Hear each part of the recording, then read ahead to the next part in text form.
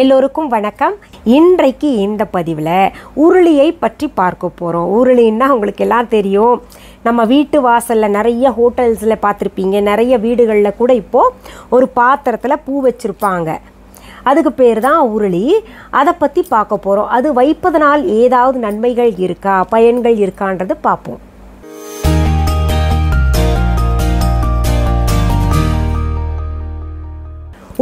உருளின்றது நான் உங்களுக்கு சொல்லிட்டேன். அந்த ஆரம்பிக்கும் போது இருந்தால் கூட இன்னொரு முறை தெளிவாக சொல்கிறேன் நம்ம ஹோட்டல்ஸில் இல்லை நிறைய வீடுகளில் பார்த்துருப்போம். பெரிய பெரிய பாத்திரத்தில் அதாவது வீட்டுக்கு ஏற்ற மாதிரி. பெரிய வீடாக இருந்தால் பெரிய பாத்திரத்தில் உலோகம் போல் இருக்குது ரெண்டு காது சைடில் இருக்கும். அதில் தண்ணி நிரப்பி அதில் பூக்கள் போட்டு வைப்பாங்க.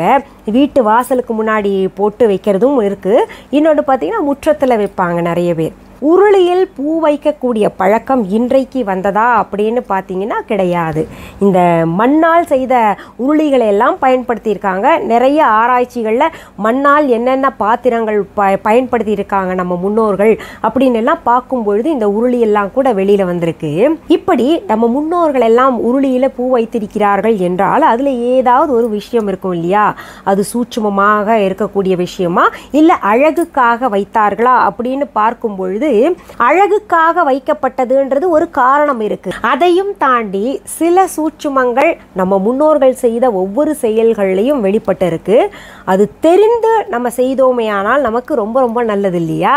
அதனால தான் நம்ம வியூவர்ஸ் சிலர் கொஞ்ச நாளாக கேட்டுக்கிட்டு இருக்கீங்க. இந்த உருளியில் பூ வைக்கிறது அழகுக்காகவா? எங்கே வைக்கணும்? அப்படி வைப்பதனால என்னென்ன நன்மைகள் இருக்குது அப்படின்னு கேட்டுக்கிட்டு இருக்கீங்க. நிறைய கேட்டுக்கிட்டு இருக்கீங்க இதை தாண்டி. இதை பற்றி சொல்லுங்கள் அதை பற்றி சொல்லுங்கன்னு கட்டாயம் நான் பதிவு கொடுப்பேன். ஒரு நாளைக்கு ஒரு பதிவு அல்லது ரெண்டு பதிவு தான் கொடுக்க முடியும் அதிகபட்சமாக. அதுக்கு மேலே கொடுத்தாலும் உங்களுக்கும் போர் அடிக்கும். எனக்கும் நேரம் கிடையாது. அதனால் முடிஞ்ச அளவு சீக்கிரத்தில் நீங்கள் கேட்கக்கூடிய கேள்விகளுக்கான பதிவுகள் நான் கொடுக்குறேன். சரி இந்த உருளியில் பூ வைப்பது அழகுக்காக அழகுக்காகவா அப்படின்னு பார்க்கும்போது அழகுக்காக நம்ம சொல்லலாம். ஏன்னா பெரிய பெரிய ஹோட்டல்ஸில் ஆகட்டும் இப்போ கூட நீங்கள் பார்த்துருக்கலாம். பெரிய ஹோட்டலோ சின்ன ஹோட்டலோ அதாகட்டும் பெரிய வீடாகட்டும் சின்ன வீடாகட்டும் அதிலெல்லாம் உருளியில் பூ வைக்கிறது இப்போ ரொம்ப அதிகமாக இருக்குது ஏன் வைக்கிறோம் அப்படின்னு பார்த்தோன்னா ஒரு பாசிட்டிவ் வைப்ரேஷன்ஸ் நமக்கு கொடுக்கும். வீட்டு வாசல்லையே நம்ம வச்சணும். அதாவது வீட்டு வாசல்ன்றது வாசலை தாண்டி நம்ம வெளியில் தெருவில் கிடையாது. நம்முடைய வீட்டு வாசல்னு ஒன்று இருக்கு இல்லையா? அந்த வாசலில் பாத்திரத்தில் தண்ணி ஊற்றி அதில் நம்ம பூ வைத்தோமே ஆனால் அது பாசிட்டிவ் வைப்ரேஷன்ஸ் கொடுக்கும். அப்படின்னும் இன்னொன்று அழகுக்காகவும் அப்படின்னு வச்சுக்கிட்டு வர்றோம் இல்லையா? சரி அப்படி வைக்கிறதுனால அழகாக இருக்குன்றது எங்களுக்கு தெரியும். ஆனால் பாசிட்டிவ் வைப்ரேஷன்ஸ் அதில் இருக்கா அப்படின்னு கேட்டிங்கன்னா இருக்குது அது என்ன பாசிட்டிவ் அப்படின்னு பார்க்கும் பொழுது இந்த பஞ்சபூதங்கள் இருக்கு இல்லையா? அது எப்போவுமே நம்முடைய வீட்டுக்குள்ளே இருக்கக்கூடிய நெகட்டிவ்ஸ் எல்லாத்தையும் எடுத்துரும். அதில் தண்ணி ஒன்று இருக்குது பஞ்சபூதத்தில்.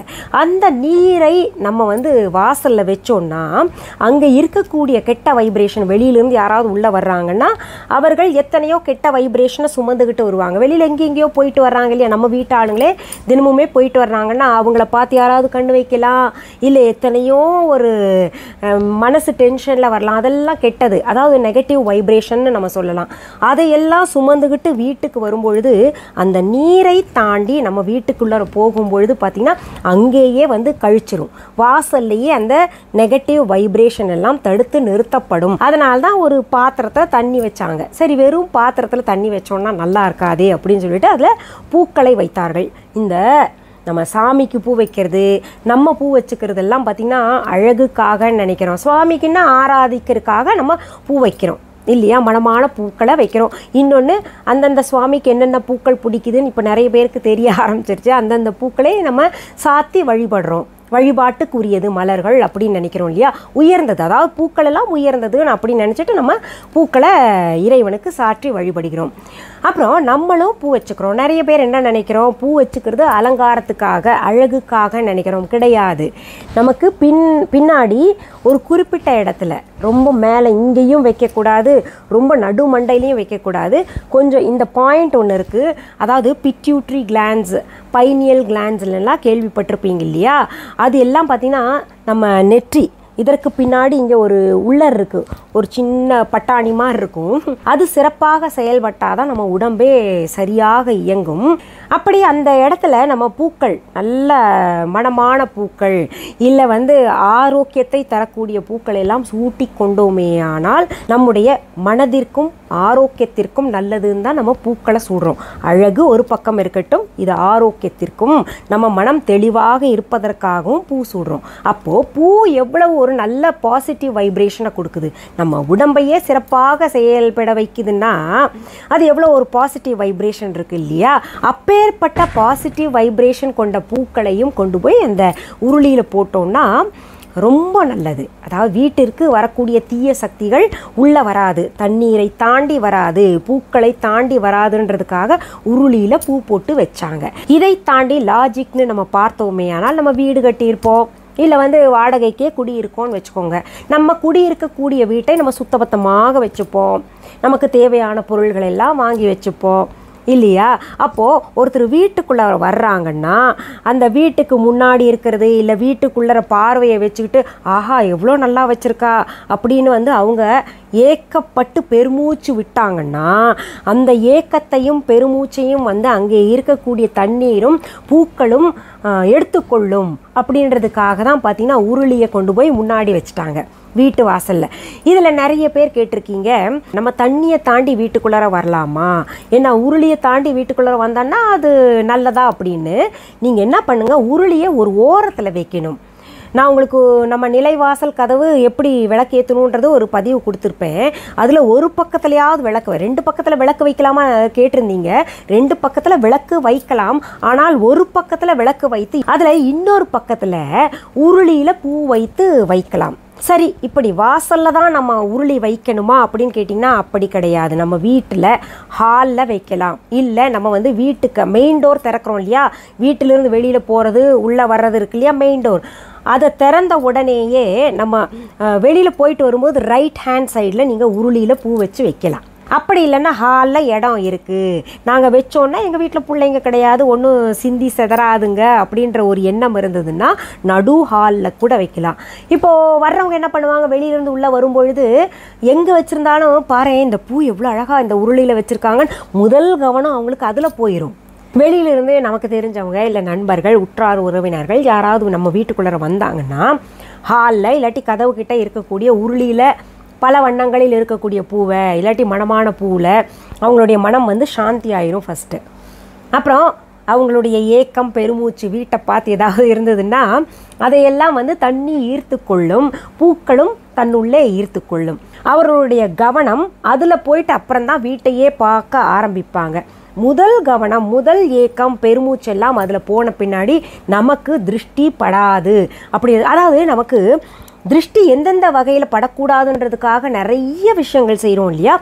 அதில் இது ஒன்றாக கருதப்படுது. அதனால் திருஷ்டி போயிருன்றதுக்காகவும் உருளியில் பூ வைக்க சொல்லுவாங்க. இன்னொன்று அந்த உருளியில் நம்ம பச்சை கற்பூரத்தை பொடிச்சு போட்டோன்னா வீடே மனமாக இருக்கும் தெய்வீக மனம் கொண்டு இருக்கும். அப்புறம் இந்த கொசு மற்ற கிருமிகள் எல்லாம் நம்மை தாக்காதுன்றதுக்காக அந்த உருளியில் பச்சை கற்பூரத்தை நம்ம போட்டு வைக்கலாம். சரி அந்த உருளியில் மணமான மலர்கள் மட்டும்தான் வைக்கணுமா? இல்லை மனமில்லாத மலர்கள் கூட வைக்கலாமா அப்படின்னு கேட்டிங்கன்னா இப்போ நீங்கள் பச்சை கற்பூரத்தை போட்டிங்கன்னா மனமில்லாத மலர்கள் அழகுக்காக நிறையா இருக்கும் இல்லையா? அதை கூட போட்டு வைக்கலாம். பல வண்ணங்களில் போட்டு வைக்கலாம். இதை வாசலில் மட்டும் வைக்கணுமா? இல்லை எங்கே வேணால் நம்ம வீட்டுக்குள்ளே வைக்கலாமா? அப்படின்னு கேட்டிங்கன்னா வீட்டுக்குள்ளே வர்றவர்களுடைய பார்வை அந்த உருளி மேலே படணும். சரி இந்த உருளியை நம்ம வீட்டில் எங்கே வைக்கலாம்? அப்படின்னு கேட்டிங்கன்னா வாசலில் ஒரு ஓரத்தில் வைக்க முடிஞ்சால் வைங்க.